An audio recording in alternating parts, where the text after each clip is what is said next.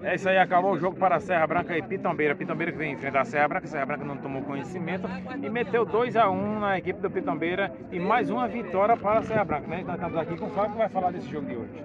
Jogo duro, o time deles bom. Nós jogou muito bem hoje não, tá um mais ou menos, mas deu certo e sempre pra vitória, né? Graças a Deus. A equipe de Serra Branca criou muito, mas foi o que faltou, é, é Flávio, para a Serra Branca sair com pra cá mais relaxo que nós estávamos um pouco abaixo do futebol que nós apresentamos regularmente, né? Mas isso faz parte, né? Nem sempre nós estamos tá um dia bom e mesmo todo jogador, né? Mas assim faz parte, né? Melhorar, domingo tem um jogo difícil, vamos melhorar para ver se nós conseguimos outra vitória domingo. E é quantas vitórias consecutivas, Fih? 12 vitórias e um empate. 13 jogos sem perder.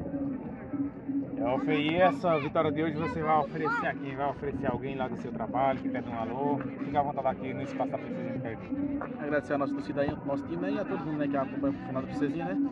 E a galera que nos acompanha aí, que recebe nós, brinca, né? E faz parte da, Princesinha do Caribe, né?